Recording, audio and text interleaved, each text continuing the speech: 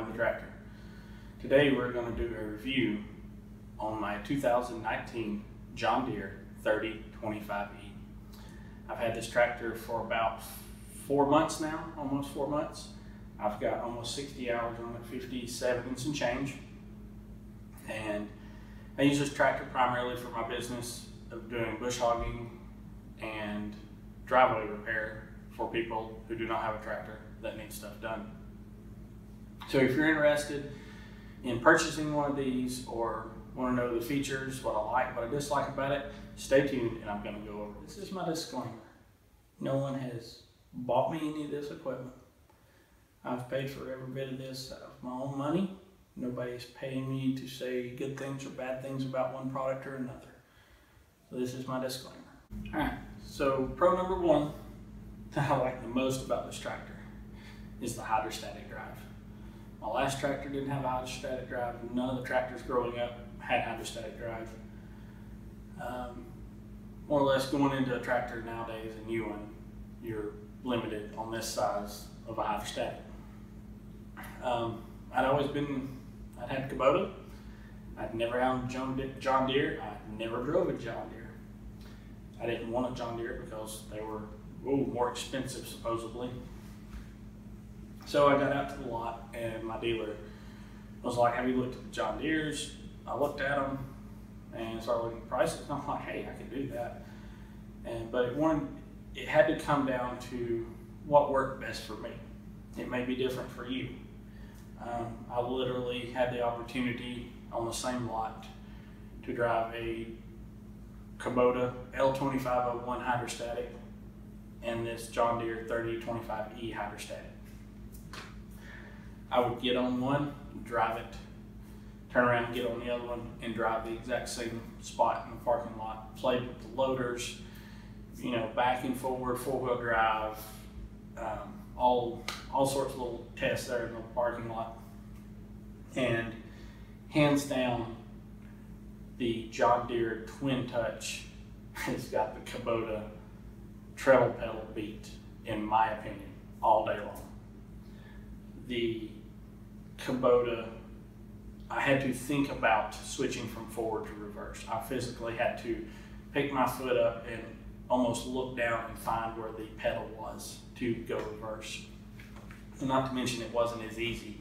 Pushing it with your pedal or the pedal with your heel is not, we're not as used to that as we are with our cars using our, our foot. And on the John Deere, it was just almost natural to go forward and move your foot over and go reverse. And that was one of the biggest features that said, I'm going to get a John Deere over a Kubota. For you, you may like the treble pedal. You never know. Um, but I do recommend getting out and trying the different options you have to see which one works best for you. All right, so the second big feature that I wanted in my new tractor was a loader. Course, you know, buying new tractors, you can get a loader pretty much on any tractor you can buy. Um, growing up, I always had a loader, and then I had a, my first tractor, personal tractor, was didn't have one, and it was really limiting of what I wanted to do with the tractor, and I couldn't do because I didn't have a loader. And like my dad said, he don't, I don't know how I ever got by without having a loader. And it's, it's true. Once you have one and you find uses for your loader everywhere. Um, this has the 300E loader on it. I'm not going to get into specs as far as lift capacity, lift height, all that stuff. That is well advertised online. Everybody can find that. Um, there hasn't been anything that I've tried to lift, asterisk, that it hasn't lifted. Um, I've moved gravel, I've moved mulch, dirt, um, redid my in-laws driveway with asphalt millings. It lifted full buckets of that, heaped up, no problem whatsoever. Um, and the reason I said asterisk was I've tried pulling up some small trees and stumps and stuff, pushing it to its limits. It does have limits for this size tractor. Um, I have met those But as far as going out and just hauling anything that this 60 inch bucket will haul, it will lift it, no problem. Um, uh, the refrigerator you see behind me, I literally set it in the bucket, strapped it down, picked it up, hauled it up from the basement up here at the garage, no problem whatsoever. Still full of drinks and all the food that was in it. So um, I don't know how much that weighs, but it was a weight that was way out in front of the pivot pins. And like I said, it lifted it no problem at all. Um, very pleased with the look. Another feature I was looking for was a quick attach bucket on my loader. The tractor I had, the B2320, the loader that I could get with it, quick attach was not an option. It was pin on only. And eventually I want to be able to have pallet forks and possibly a grapple and maybe one of the bush hogs on the front, the lane sharks or something like that.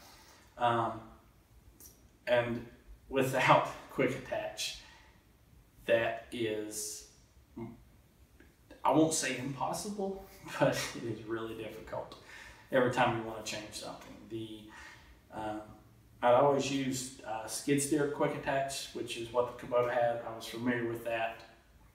Um, the John Deere's, they come with their own, everybody's like, oh, it's a proprietary quick attach. Yes and no. Um, it is John Deere's. You won't find it on any other machine, but that does not mean you have to buy John Deere stuff.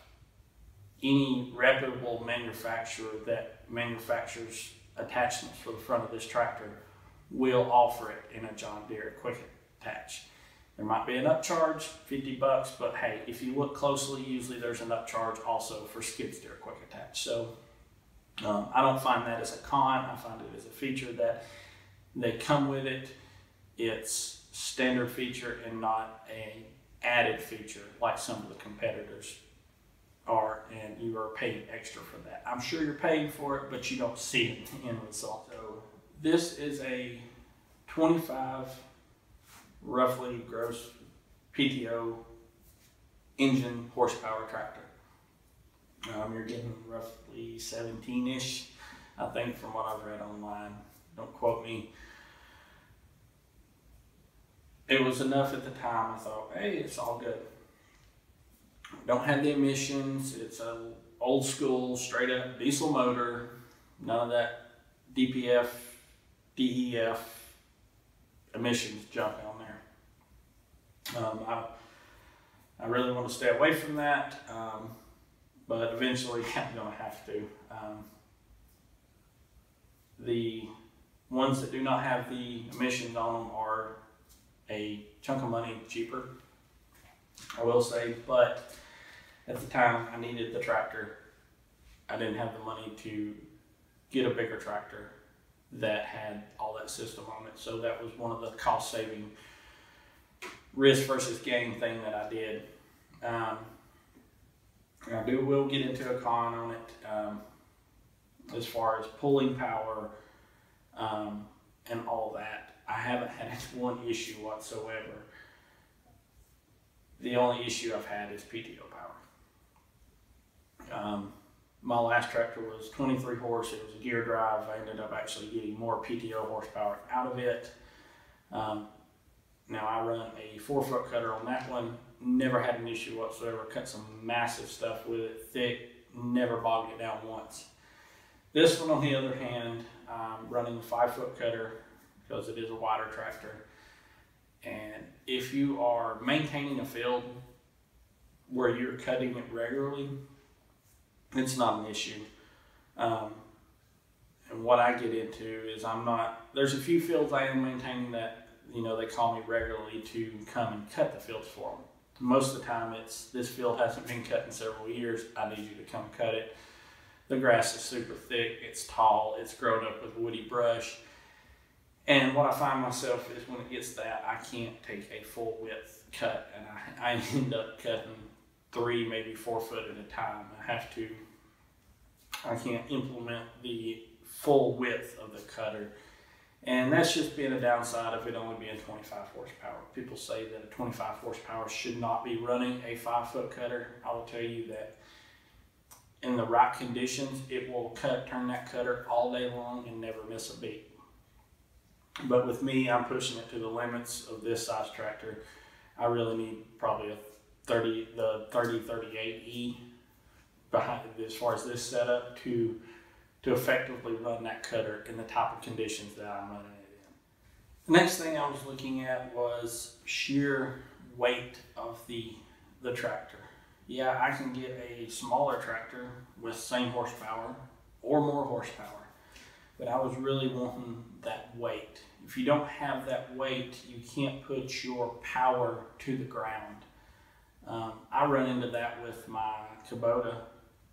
Um, I run a land plane behind it using doing driveways, and that Kubota would literally just sit there and spin almost with that. Um, it didn't have field tires. It didn't have a loader on it, so it was roughly 1,400 pounds um, machine weight, not counting the uh, the implement. But that was one thing I really needed. So when I went to the three series, I got a lot of weight. I roughly how this one sits with the tractor, the loader, the field tires, and everything. I'm pushing right at 4,000 pounds, which is a big jump of from what I was with. It's more stable. It don't bounce around in fields. You do have that power. You can put the the power to the ground. It's it's really hard to get this one to to break free and spin the tires on on dry material that's you're, you're able to dig and, and do the work that you need. So the next features that I'm going to talk about that I like, I'm going to be moving the camera around and get you closer images of it and so you're not just sitting here looking at me standing beside a tractor talking the entire time. So I'm going to move the camera around and show you some different features as far as controls and how they operate and why I like them or why I dislike them.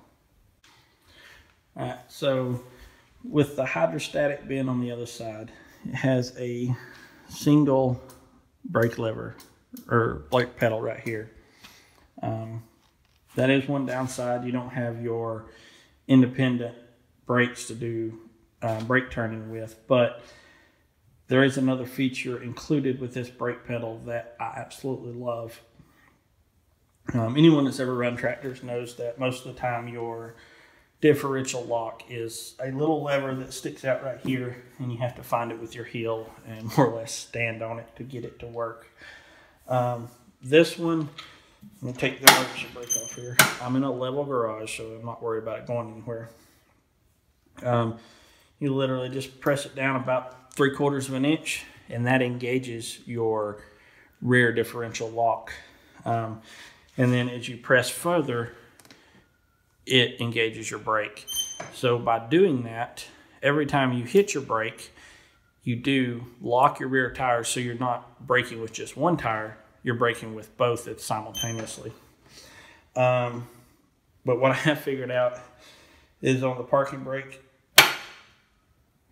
if you take it up two clicks, it don't actually engage your brake, but it does lock your differential. So you're not having to sit there and hold it the entire time.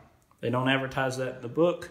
It's just something I found out if I'm in real slippery conditions where I need that constantly locked, I don't have to sit here and hold my foot on this, which is way better than holding it on the little pedal in the back. But you can just click that up twice and rock on. Um, I would use caution in doing that on concrete and in your yard because when you turn, it's going to mess your yard up because these tires are locked. Um, but a real handy feature to know. Um, parking brake's in a good spot. You literally, it's like a car. You just pull it up, click it, you're good. Um, four wheel drive, pull up to put it in four wheel drive, push it down. Um, anyone that has problems with this, I found if you've been going forward, you know, hit over and go reverse just a little bit and this will just fall right out of place. It's just taking the pressure off the gears. This is where some people get into the argument orange versus green um, is in your range selector. Everybody argues, oh, the, the orange tractors have three ranges, therefore you get more low range and you can pull more and this, that, and the other. Um, the John Deere's have two range, high and low. Um, I don't see a downside to that. The low range is where I'm doing all my work in. The only time I go to high range is when I'm out, you know, going from point A to point B. My kids love to take tractor rides and I ride them through the subdivision on it. I'm in high range for that. Um, plenty of power. Never complained about only having two ranges. Um, at one time, I was brainwashed and think, well, I need those three ranges. It's not really an issue. All my work's done in low range, and transporting is in high range. Um, you could, I think there was one time I had I was I was cutting a field and it was real. It had been cut about a month before that. I'd cut it, and it was nice and smooth and level, and I was able to kick up in high range and really really cover some ground. But having two ranges is is not a downside at all. No matter what you hear, I haven't had any issues out of the two range transmission. Um, another feature I like is the having the grab handles on both sides. My other tractor only had it on one side and not the other. Um, I can get on and off of this tractor easily both sides. Some people said, well, you're not supposed to get off that side, but on the tractors that don't that don't have a loader, there's no reason you can't get on as long as you can step up. There's not a step over there. Um, I wish they had put a step like they did on the left hand side of the tractor, like on the right side. It would really make it easier. But I'm 6'1, I have long legs. I can climb in and off this thing either side. Another thing is the built-in storage right here. Um, have some odds and ends in it. You can actually put a lot of stuff in there. Um, haven't had an issue with it. Real tight to close, but it don't fly open by no means. The next thing I want to go over back here is your fuel gauge and your fuel cap. Um, this is one feature I wish they would have put in the instrument cluster. There is a spot just to the left of the tachometer. Would have been a perfect spot. Understand, you know, this is cheaper. It's easier wiring and whatnot, easier to replace. Um, and it's not too terribly bad. You can turn around and keep an eye on it. The fuel cap, the fuel location is really easy. Um, I don't have an issue with it because I do all my filling on the trailer when I pull up at a, between jobs at a fuel station. So I can literally come in from the backside, put my fuel in, never an issue. Um, the fuel cap is attached to the chain, so you can't lose it, and I just sprinkled diesel everywhere. I will tell you, if you leave this cap off and drive about 20 miles, um, whatever's behind the tractor will be covered in diesel. Um, I had a friend that did that. Hint, hint, not really. The uh, there is one weird feature though, and it took me a while to figure it out. When I would park the tractor and I've been running it a while, I would hear this hissing noise and it kept paranoid me. I kept thinking I had a tire that was leaking air. And what it came out to be was the cap sucking in the air where it was pulling. It's a non vented, really.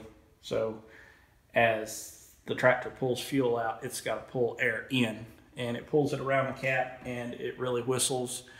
So you've been running it real hard and you just shut it off and it's quiet. You can hear that whistling.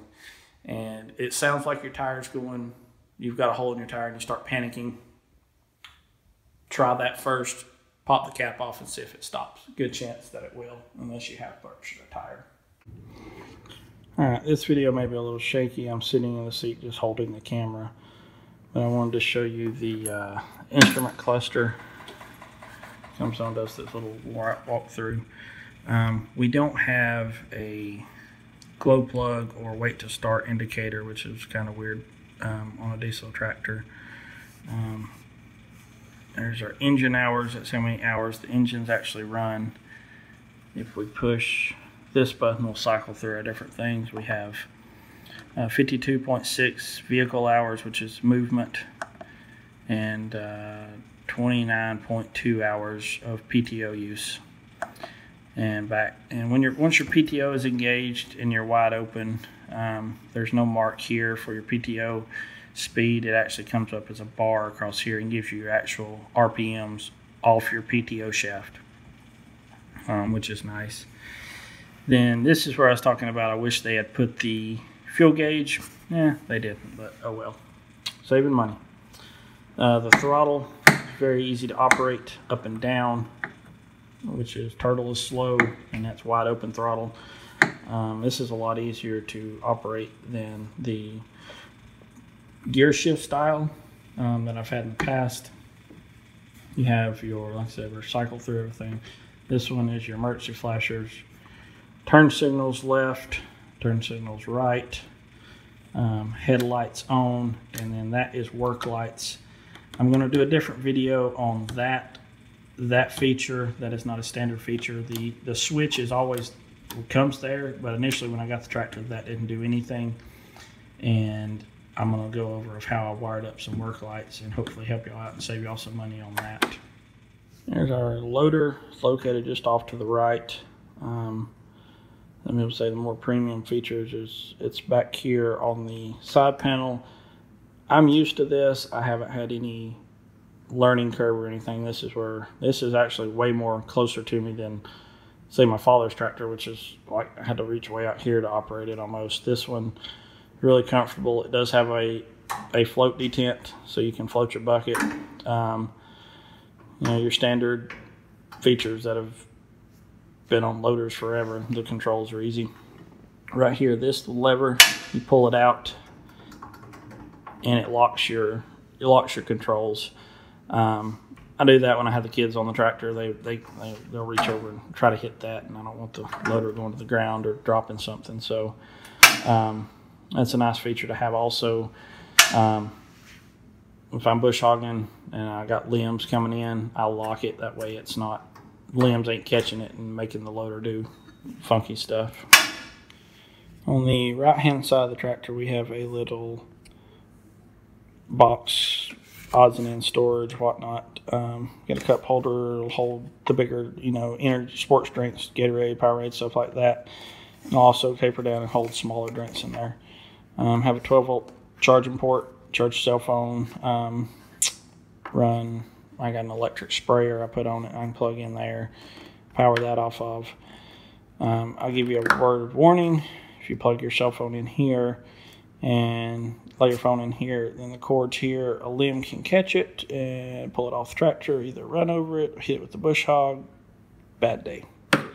Um, I'm gonna have another video coming out on a better location for that and how I'm gonna wire that up. Um, PTO is very easy to operate on this. That's the off position. That's the on position. To actually start it, you push it one more to a detent. It'll start up your PTO. Beauty about this is once this is running forward, backwards, it don't matter. That PTO is running and there's no clutching, turning it on, turning it off. It's really nice when you're using the bush hog and you're backing up under trees or under fence rows, there's there's no delay as far as as far as that. Um, you have two more switch plates here. Um, you can put more switches in. There's wiring harness in here for the um, cruise control feature you can add. I'm probably not going to be adding that. I don't I don't really feel the need to it. But you have two more switches here you can put in if you need something. And there's also one right here by the throttle that you can add another switch if you need it. So you don't have to go drilling holes. You can literally, you can buy some panel rocker switches and, and snap them right into these, which is a really nice feature. Alright, uh, it's kind of hard to see in here over the, uh, the loader control, but right here is a lever for your, slide your seat back and forth. I said I'm 6'1". I keep it slid all the way back. It's plenty comfortable for me. The uh, loader control is kind of hard to see. It's black it's right here on the right hand side. Um, uh, it's position control, so there's numbers right here. Um, I don't know if y'all can see those or not. It's really hard to get the camera in here. Um, there's different numbers and there's a lock that you just flip up and move um, up and down and lock it back and then the loader will or the thing will only go to that that stop. And so when I'm bush hogging you know I have a certain setting I set on it and every time I pick it up and lower the loader back down it goes to the same spot. So this right here is your rate of drop control every tractor I've ever operated has had a control up front and a little knob you turn and it determines how fast your three point implement will will fall once you lower your control. On this one it shows it right here but it's got this arrow that points back and I'm gonna move the camera and try to get in here and show it to y'all. I'm gonna try to show this to y'all without this little T-handle right here and you can see, get that leaf out of the way, that uh, right there, I'm trying to do this so you can see it. Let me move the other hand here. Right down in here is the, this is the control, shows you which way. Um, then turning it towards a negative will slow your control down, how fast your implement drops, and plus will speed it up. Um, at first, it was a little hard to turn this. Um, since I've turned it one time or two, it's pretty easy to turn to. It's just a little, it's a pain to get to. Um, you can do it from the seat. If you got flexible long arms, you can get down in there and, and do it. It's just not as convenient as having it up front between your legs. So this is another one I'm going to have to have the camera handheld. You can see this little ring right in here. That is your oil dipstick. Now, when they designed this tractor, and figured out where that was going to be, was probably on a tractor that did not have this loader right here. Now, the problem is it's not getting it out. That's the issue it's getting it back in. You see how dark it is back in there and trying to find the hole that it goes in way back in there is a real pain. Um, so it makes your daily inspections a little little time consuming. I've learned just to get a light out and and put it back in. Um, your or your fuel separator um, filter all right here. There's no real issue as far as, as that. It is behind the loader arm, but no problems getting to it. The as far as getting into the hood to check your belts and stuff, you do have to have a key. Um, you pop it in here, and the hood comes up. There, it don't. It's not like a car hood that once you hit it, it pops up. You'll be sitting here poking the key in, thinking, "I ain't got it unlocked," and literally, it's it's unlocked, and it it'll raise right up. Um, you do have to remove the side panel from the other side to uh, clean out your air filter and whatnot. But luckily, they're uh, they're two screws, and I'll I'll show you that here in a second. Here's what I was talking about on this. Okay, the key goes in, but nothing happens with the hood. But it actually does unlatch it. Um, walk around here to the front. One thing did like on my Kubota was that this part would would roll out a little bit and allow you more room. And there's there's no radiator screen in here as some of the other tractors. It is an option. You can get it. Um, I haven't got it. Um, this is a pretty fine screen and keeps most of your trash out of your radiator. Um, there's a little bit down in there. Not too awful bad. Battery, so easy jumping, headlights, maintenance is all right here. Your uh, reservoir cooler for your puke jug. And looks like I need to add some uh, coolant to that. Um, then we have, that's what I was talking about. You can pop these off right here and right here. And then you can pull your air filter out and clean it and make sure all that's good. And then you can once this this panel's off, this is the one I really take off the most. Um, the right hand side of the tractor over there, I rarely take that one off. This is the one I take off regularly. Um, clean my air filter, check my belts, and all that stuff down in there. Another feature I like is the the grease zerks that are recessed into the pins here.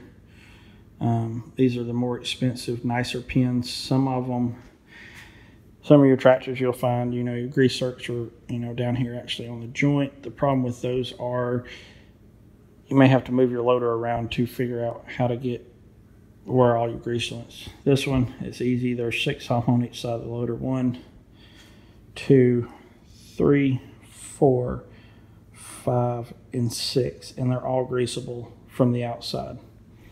And if you're wondering where I bought it, Nelson's Tractor Company in Blairsville, Georgia. If you're in the area and looking for a tractor, they're a great place. Great, great customer service. One problem I did have was my loader cylinders from the factory were um, all bad, and it was as I was using the tractor, the front bucket would just slowly dump and get real, have a lot of slack in it. You hit a bump, and it would the actual this cylinder would would bounce around, and these it wouldn't hold. Um, I set it up in here, stopped put a tape measure on it, seen what it was, and it was dropping an inch about every three minutes. It dropped the 30 inches that it was in the air in 10 minutes. So took it back. They warranted on. They ended up putting all new cylinders on it. They were defective on the inside, even with new seal kits and everything put in them. They wouldn't do like they were supposed to and had too much drop in them. Um, I don't know if that's a common thing on these. I just know it happened on my model the dealership took care of it in and out, no problem. So that wasn't an issue at all with, as far as my first warranty work I had done with it.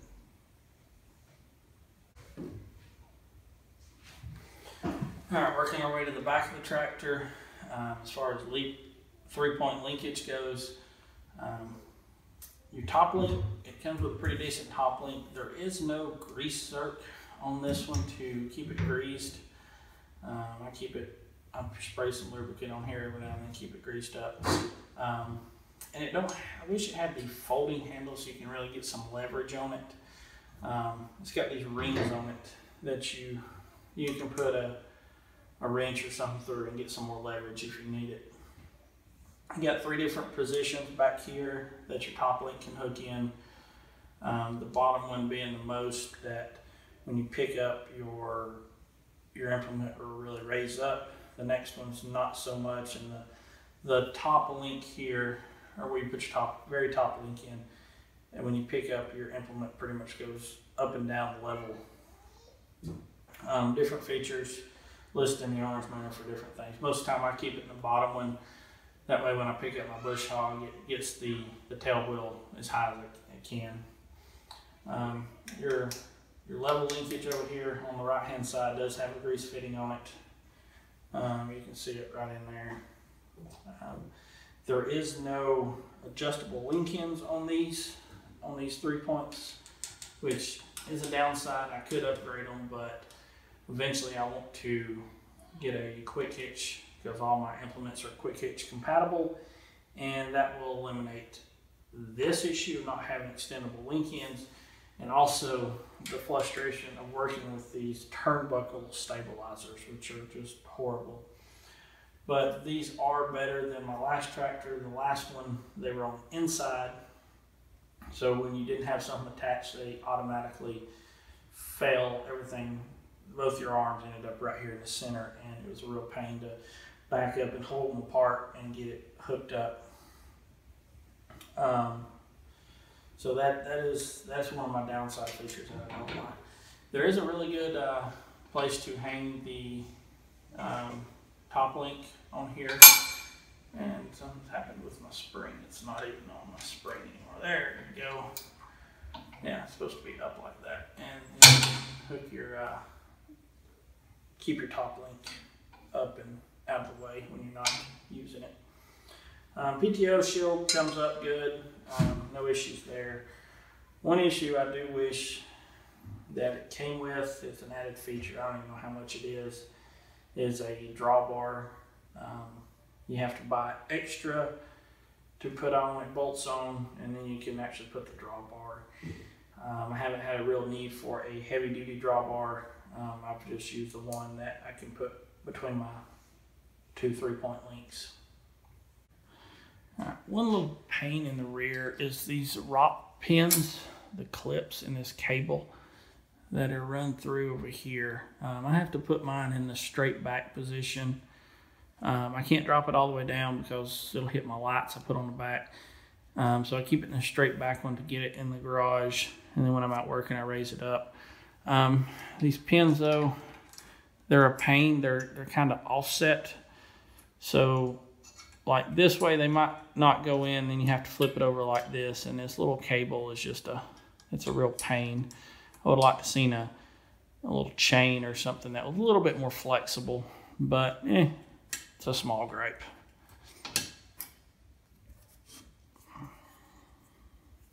See what I'm talking about? It wouldn't go in that way. It'll go in that way. One more little feature that I would call a feature, I call it a downside. And it may just be my tractor, I don't really know. When I'm in here on the concrete, it's nice level concrete. Excuse me. And I go to set the loader down. The, I think it's the right side hits first and then it drops to the left. And then when it picks up, it does the same thing.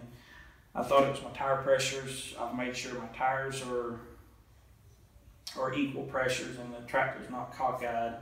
And put a level on the front bar here make sure you know for the most part the tractor's level and it's still when you drop it one loader arm hits before the other one. And little trivial things um, I haven't really found that to be an issue as far as using the loader. It's just one of those you would think that it would set down level but it one side hits and then it's probably a good three quarter of an inch difference once it actually levels out but it will level out it's not like it one stops and then the other one stays up in the air an inch, it will level out. So when you're doing work and you drop it and you're down level on the ground, you can you can go and, and get a good good movement with it. One other complaint I have is the seat safety switch. Now I know we have to have them, and without being in that, the tractor cuts off if it's in gear. The PTO will kick off these are super sensitive. All the other ones I've ever run, it's been on the back here. like you could raise your rear out of it, as long as you kept pressure back here, it would go. This one, if I end up starting to use the tractor and it's like, I can take my wallet out because it's hurting or something, and I lift one cheek off of it, it will end up cutting the tractor off. Or if I need to reach around and do a quick adjustment on the top link or something like that, it'll it'll cut off. So uh, be mindful of that. You really have to keep your rear end planted in the seat for this to work. Um, one more thing before we wrap this up is the available accessories for this line of tractor. Um, John Deere has a few. Um, there's little things that if you want them and you dig hard enough, you can find them. One thing I want is armrest John Deere says, no, we don't sell them. But if you look up your part number for your seat, uh, there's an aftermarket company that makes replacement armrests for the one series, the 1025R and the 20 or the two series. Same seats on all three tractors. And as you can see, it's got the screws and the mounting plate and everything right here. You take these three bolts off, order it, and you can put them on there. Um, they're actually on Amazon. I want to think they're right at a hundred bucks just for the armrest. So I'm going to get me eventually get me a set of those. Make those long days a little bit easier. All right, we're going to go over some little things I've added. Uh, the spinner knob I added. I bought it with the tractor. I can't doing stuff all day long. You got to have one of those spinner knobs if you don't have one of them, you need to get it and try it. It is amazing, and they're cheap, like 14, 15 bucks at your dealership. Not bad at all. Um, I did talk about some work lights I'd added. Um, they're right here. I want to do a little video on those. I got one on each side because there was no, you know, white light off the back of the tractor. And then the only other accessories I've added are the, um, the stuff from Ken's Bolt on hooks. I got a set of the hooks on, and then I put the receiver plate in the center of the bucket. And other than that, this is a stock 2019 John Deere 3025E. So there you have it. There's what I like, what I dislike, little features, little things I wish I could change, things I'm going to change. Um, it's a working process.